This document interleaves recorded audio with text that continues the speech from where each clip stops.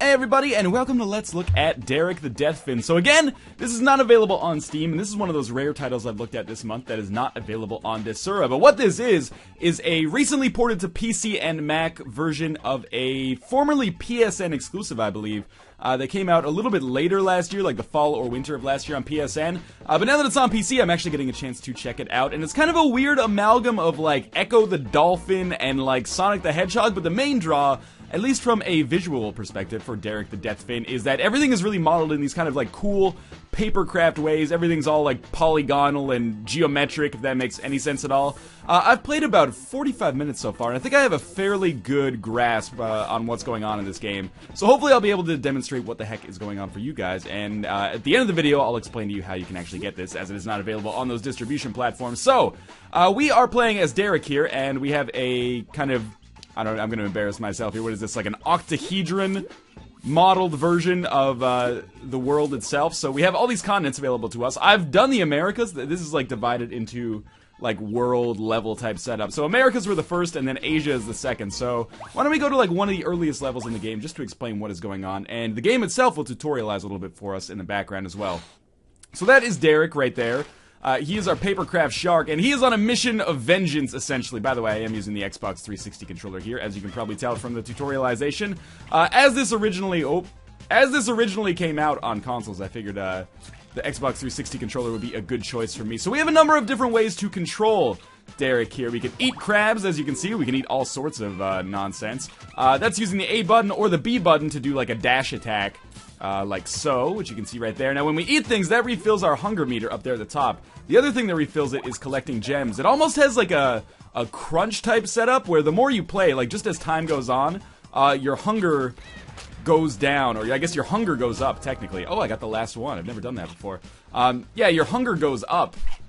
So you have to constantly be eating things, oh god, or you're gonna fail the level. Don't do it! Eat some gems! Eat some seagulls, it's all good. Yeah, you constantly have to be either collecting gems or eating things in order to keep yourself alive. Otherwise, if it, all things being the same, if you just don't touch anything throughout the course of the entire level, you're just going to die eventually, and I've had that happen many times. So I did collect all the gems here. We're going to talk a little bit as we do some of these early levels. Don't worry, I'll move on to some more difficult ones as we move on. Um, yeah, our main goal, it's almost got like an element of Crash Bandicoot in it as well, as you're like collecting these gems in the levels, and the only way that you can unlock uh, later worlds is by collecting all the gems, or as many gems as you possibly can, uh, in almost like a Banjo Kazooie or Super Mario 64 style. In addition to that, uh, we've got all these like flaming tires. The general like pretense. We're only missing four gems. Maybe we could actually get those on this one. Uh, the general pretense of this game is basically that our mother and father, you know, were just minding their own business until some asshole, probably working at British Petroleum or something, uh, sucked them up into a machine and killed them. And uh, we decided, you know, for the rest of our lives, we were gonna spend our time trying to avenge the death of our mother and our father. Okay, we gotta eat something quickly or we're gonna die. The remaining gem was somewhere up here, was it not? I would really like to 100% these early. There we go. Awesome. Now just don't die. And we should do well here. Yeah. But again, yeah, almost like a uh, a Crash Bandicoot style where you've got to get like X number of gems to open up the next continent. But there is also like a uh, kind of like boss mechanic involved in the game as well. There's lots of different influences at work here for sure. Uh, but we're going to continue onwards now. So there are, again, I'm going to mention another influence here. I'm not sure if it's a direct influence of the game. Uh, but there is a second kind of level, which kind of reminds me almost of like Joe Danger, the way these levels are set up to kind of like encourage somewhat unusual stunts like getting out of the water and uh, also you know occasionally on levels just having a time attack mode like this, or a certain time limit, in which case we have to finish the level uh, in under that time limit in order to succeed. So this is one such level. Uh, I've only encountered these two different kinds of levels so far, with the exception of boss levels, which of course all fall within uh, their own kind of unique category as well. I hope what I oh that's not good. I hope what I just said made any sense at all, but I'm not totally sure that it did. So these are the kind of levels where basically we are just racing against the clock to finish them as fast as possible, uh, and we will get a trophy, gold, silver, or bronze based on our speed. I've already done this one before. These levels do have the tendency to sometimes be a little bit difficult uh, depending on your affinity for this kind of stuff and your familiarity with the surroundings around you. But in any case, we got a silver there. That's the fastest we've ever done. I feel like I could easily get a gold on this level. Let's try it again. I don't want to do the boss just yet. I'm gonna do like, you know, five to seven minutes of early levels here, then we'll get into some blind levels. And you can get a feel for how the uh, difficulty progression of the game goes. Because it has, so far, uh, been reasonably easy. I haven't really been stuck at any point. But again, I have only played for 40 minutes. I don't have any idea of the actual length of the game overall. Uh, but it seems like things move quite briskly, assuming you uh, know what you're doing with respect to this stuff. So let's come down and around here. Again, uh, the Joe Danger vibe is a weird one, but I can't help but, uh, you know, get the feeling that that's an intentional one as well. That's going to be way faster than our past run. So that's going to give us a gold for sure. Anyway, we're going to continue, and maybe we will do the uh, boss level right now, but I just wanted to tell you, or give you a feel. We can't really see it right now, uh, but when we get to Asia, you'll see that there is like a an internal or a demonstrated kind of locking system for continents. It'll be like, okay, you need 500 gems to move from Asia to uh, Europe or something like that. I'm not actually sure what continent comes next. And also, like, X number of uh, flaming tires exploded. This is not the level I wanted to do. Excuse me. That was totally my bad, but in any case, uh, let's go to the boss for the Americas. And I guess this will basically just be me playing through the first you know, five levels of the Americas to kind of give you a feel for how things work here. Uh, so the boss levels are completely different from the style of the game that you have to do in either like a race or a collecting style. Uh, on these ones, what we have to do is actually just kind of puzzle solve. So if we hit this button, we can see, you know, that this uh, horizon drilling system comes down here and it doesn't do anything. So what we actually have to do is, you know, do some exploration and be like, hum da dum da dum, what do we do? Oh, there's a weird like undersea mine up here. So we're just gonna try to echo the dolphin that shit out. And then push it under here. Obviously, I'm going a little bit faster because I know what to expect and how to do it. There's a fin on it. As if, like, a fish actually became this undersea mine through some kind of, like, abomination of science. Anyway, now we push the button, obviously the drill will explode, and everything will come tumbling down.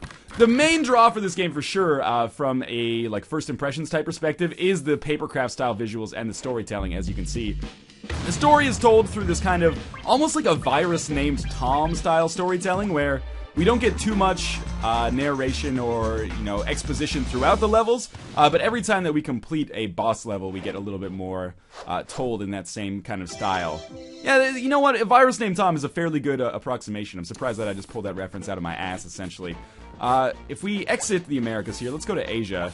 So I've done the first five or so levels in Asia. If I just come down here, three, four, five, six. All right, have we done? I have done level six, I think. But you can see to unlock the next zone, I need seven flaming tires exploded and 253 more gems. I'm actually not sure if I've done this level. We will see fairly quickly. Everything is black and white, and that worries me a little bit. I guess we are in uh, Russia right now. This is a new level. Okay, I've never touched this before. Uh, sometimes the difficulty does ramp up fairly quickly, even though the game has been fairly easy so far. Uh, these levels go from being like fairly straightforward and like smooth to being all jagged like this, and that makes things substantially more difficult. Please just get to the exit.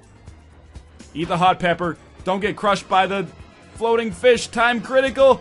So close. Uh, we technically won there, I think, because we didn't die.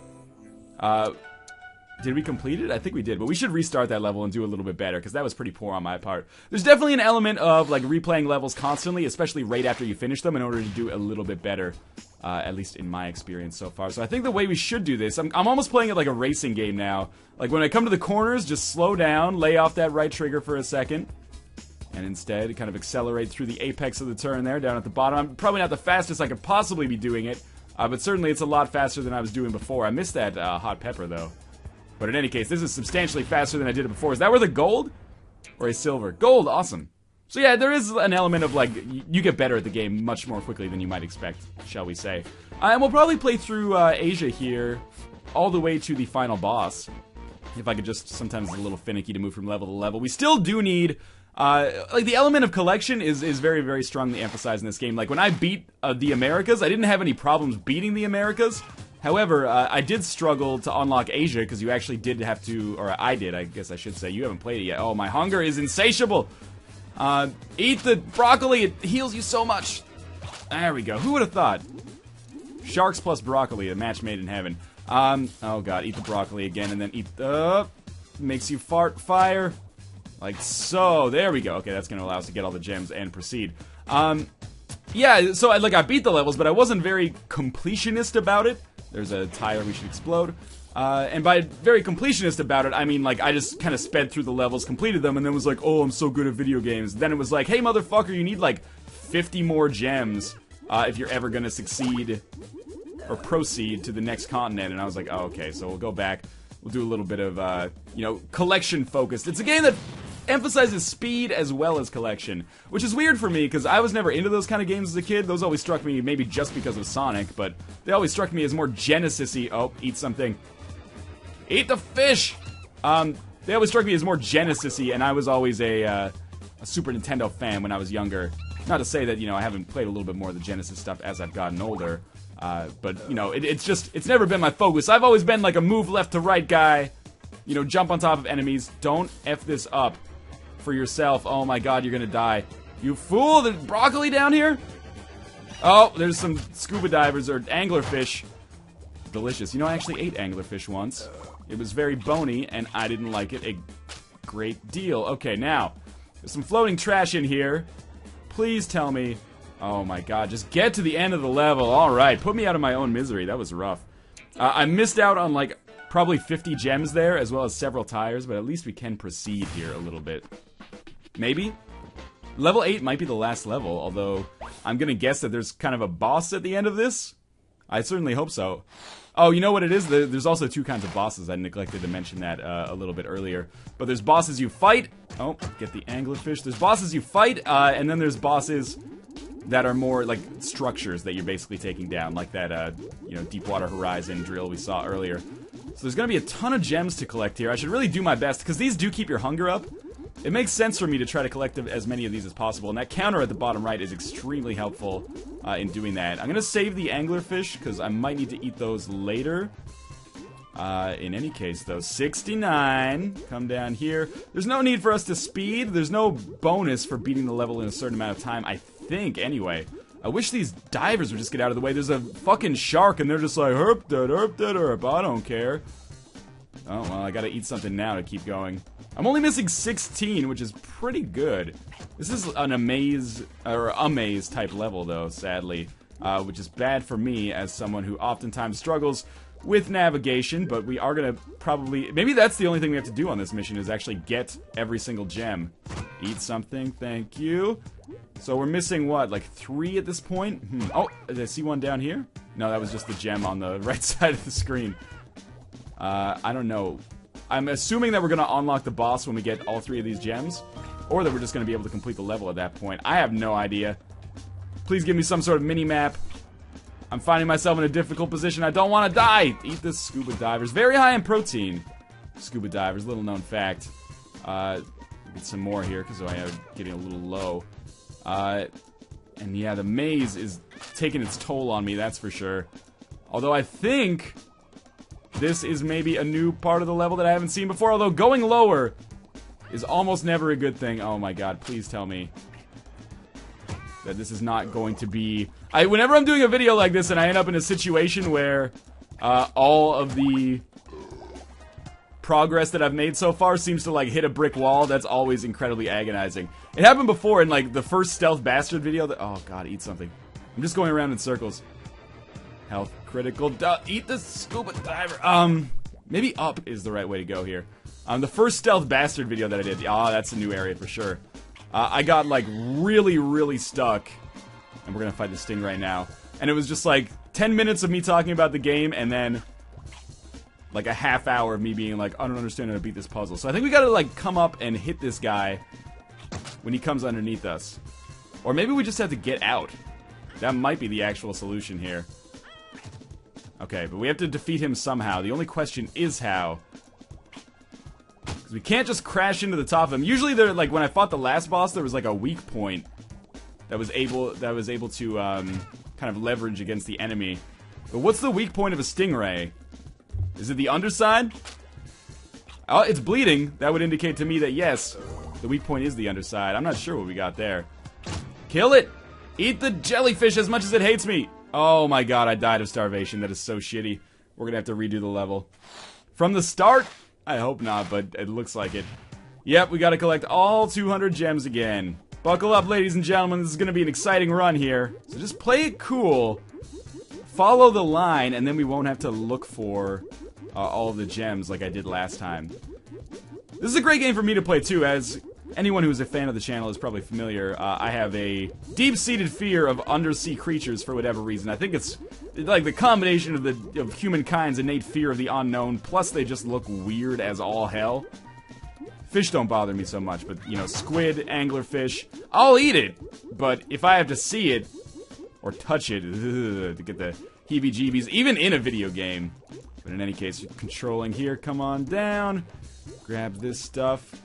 This is going much smoother than it went before. But I am going to have to kind of keep an eye out uh, for the path upwards. There we go. There's all the gems. That went better than last time. It gets a little smoother. The levels are not, like, difficult to, to learn what to do. I would never go as far as to uh, stress that. Uh, it's very easy to progress as you move onwards and upwards to bigger and better things. This is obviously where our boss is because we have... Shouldn't eat those, I should save some. Uh, yeah, you gotta save some food in order to keep your, your health up, basically. So I, am pretty sure what we want to do is just that right there, basically, even though that does hurt me, too. Uh, so eat the fish, get back up to a decent level of health.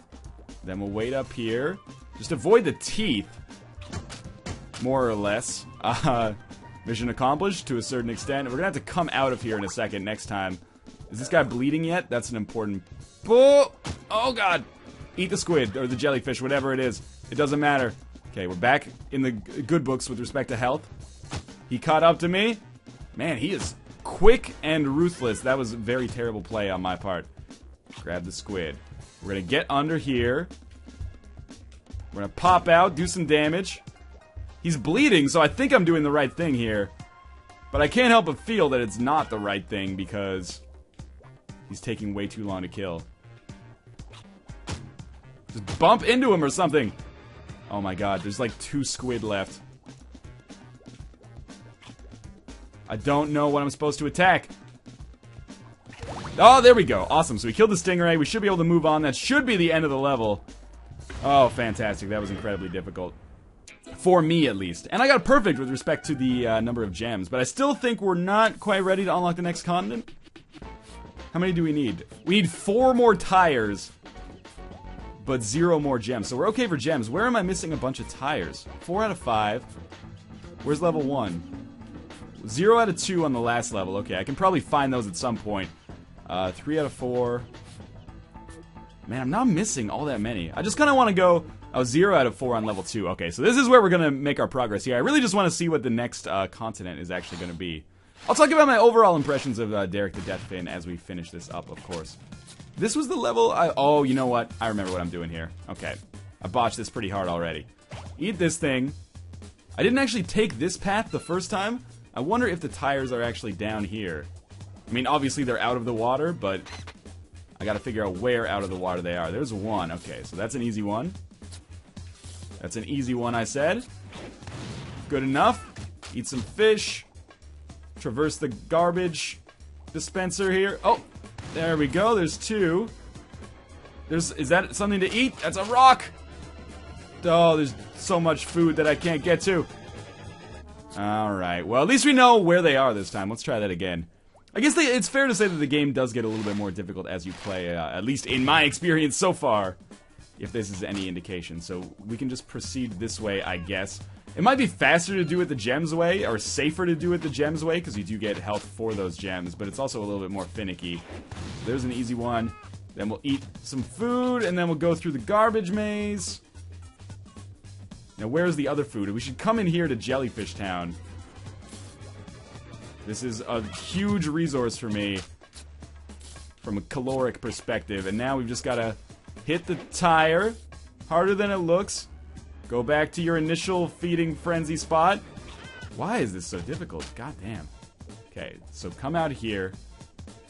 Oh my god. Sometimes the controls can be a little finicky, especially for someone like myself who, who did not play uh, Ecco the Dolphin as a child. More used to Mario. Okay, we ate all the jellyfish. Now we really got to make this one work for us. There we go. There's another tire back there, but we should just proceed so I can get these tires, or these, uh, yeah, these tires banked, basically. Alright, so we got two there. I think if we continue and we focus on the other tires, it should be okay. We just need two more, uh, which will be in level two here, I think. And if we fail this, this time maybe I'll just show off the, uh, sec, or the regular boss fight in Asia. Not the Stingray, but the, like, structural boss fight, if you will. Again, this is uh, the Sonic the Hedgehog element that is worth stressing here. If you do the level this way... Oh, there's only one uh, gem that I'm missing now. So we've already gotten this tire. We can eat those seagulls, believe it or not.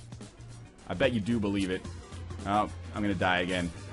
Seems like a good opportunity for me to uh, take a lesson from this and actually just go check out the uh, structural boss fight to demonstrate that there is a little bit of variety with respect to that as well. But in any case, we're getting close to the end of the video here. Let's just go back up to Asia quickly.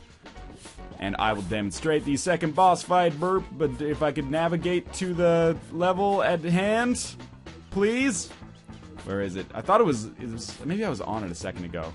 Yeah, it's this one right here. Okay.